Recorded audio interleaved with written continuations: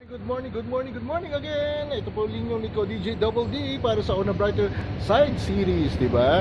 Ayun, ano yung topic natin ngayon? Ah, maganda to kasi ito in connection with dun sa una nating pinost, di ba, na sinasabi nating value, yung invest sa sarili mo din, give value to yourself. Pero this time, ito naman din yung maganda na let's value others din.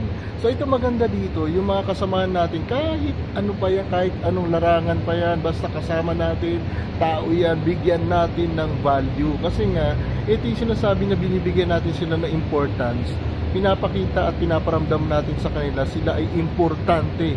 Kasi lahat ng bagay na bubuhay ay importante. Di ba sa mata nga ng Diyos, lahat ay pantay-pantay, lahat ay mahal niya, lahat ay may value. There's no such thing na pinanganak na walang value.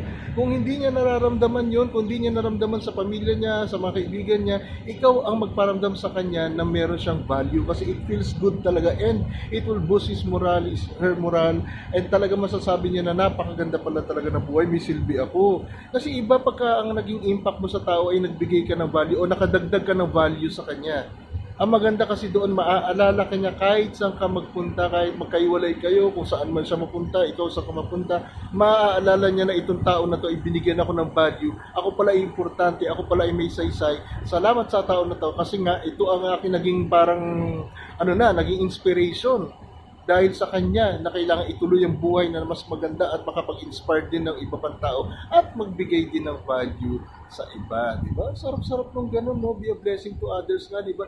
Give value to all, di ba? Napakaganda nun kasi I'm sure hindi hindi kanya makakalimutan. Iba yung na naging marka sa kanya. So yun muli, salamat po sa ating ano, magandang ano, salamat po sa pakikinig. Subscribe po kayo sa button sa baba para mas marami pa kayong video marinig kay DJ Double D on a brighter side series. Salamat po.